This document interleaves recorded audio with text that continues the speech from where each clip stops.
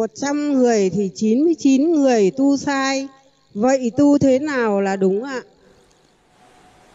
Tu người ta nói gì làm cái nấy thì đúng, còn tu mà tưởng là sai.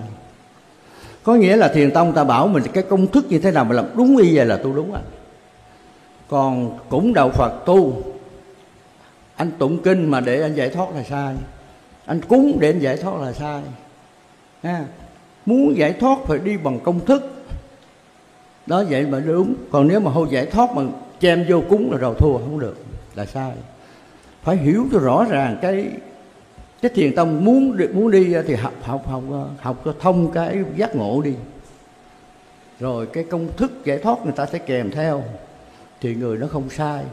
Phải cố gắng học làm sao mà giác ngộ. Giác ngộ nó gồm có 12 thứ. Từ con người mình dạng vật trái đất, tam giới, phật giới, càng khôn vũ trụ quy luật nhân quả luân hồi phải thông cái này gọi là dạ, gọi là giác ngộ. Đúng như vậy là phải áp dụng cho đúng thì nó không sai.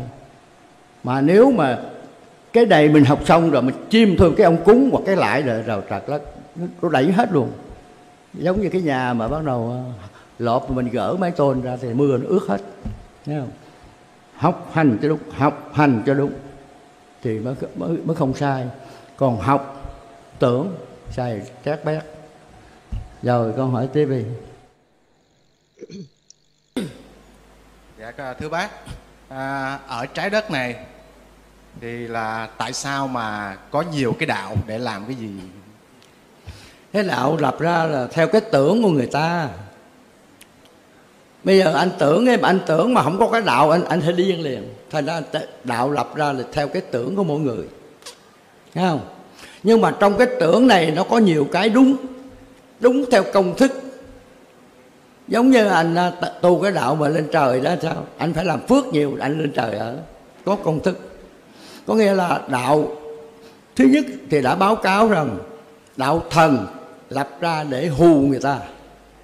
Còn sau rồi thần đó, thì đạo thánh, đạo phật lập ra để dạy của người ta hiểu thế giới này và trở về phật giới.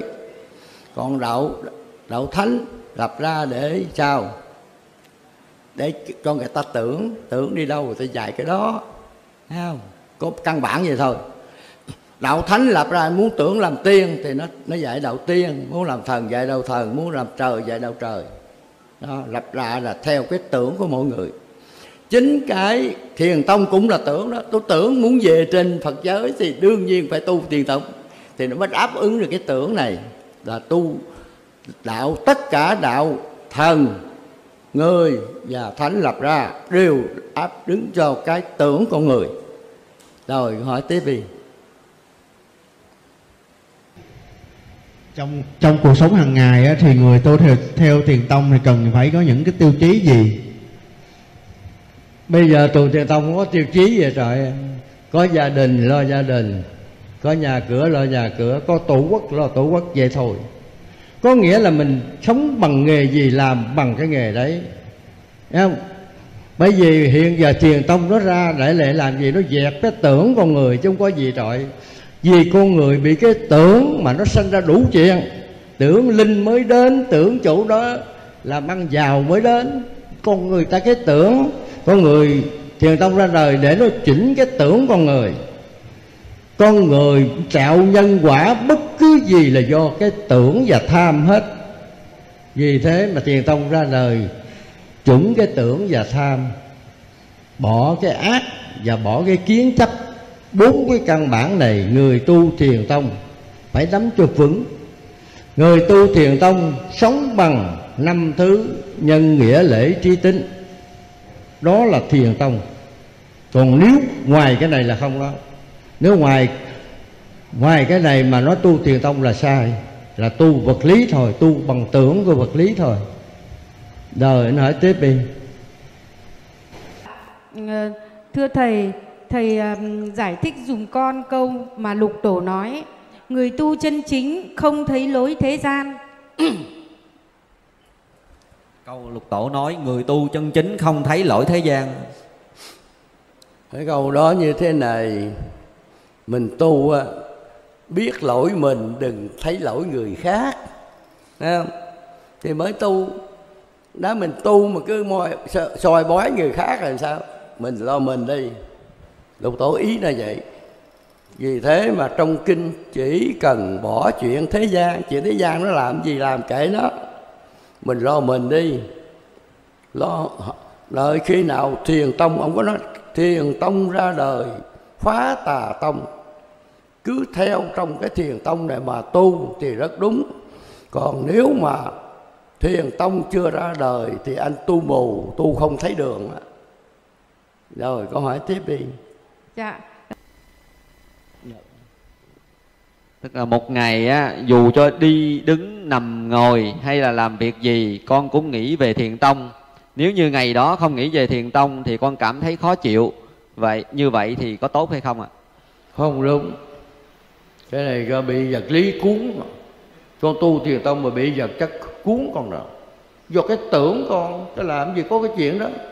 Người ta nói rằng tới đất này nè, con con mang hai thứ tánh, một tánh phật và tánh người. Người ta chửi con, đưa tánh phật ra đỡ. Ăn cắp đồ của con, tánh người đập. Chứ không có chuyện mà ngồi đó mà, ngồi đó mà cái đó là con tưởng, con tu tu tưởng cái làm gì đó, không. Bởi vì cái cái, đã tính phật thanh tịnh thì biết nó vậy thôi, vô thanh tịnh chi? Vô thanh tịnh rồi cái, bởi vì ngồi con dám mà trong lúc, con lúc thanh tịnh, con dám chạy xe gắn máy ngoài đường không? Ta thanh tịnh thì 5 phút sau con vô nhà thương luôn á. Cái đó là con tu tưởng, nó sai hẳn lại với cái đạo phật thiền tông. Về nghiên cứu kỹ lại chứ đừng có tu kiểu đó là chết à. Vì cái đó mà nhiều người tu thiền tông ban đầu nó chết là chết cái vụ này nè.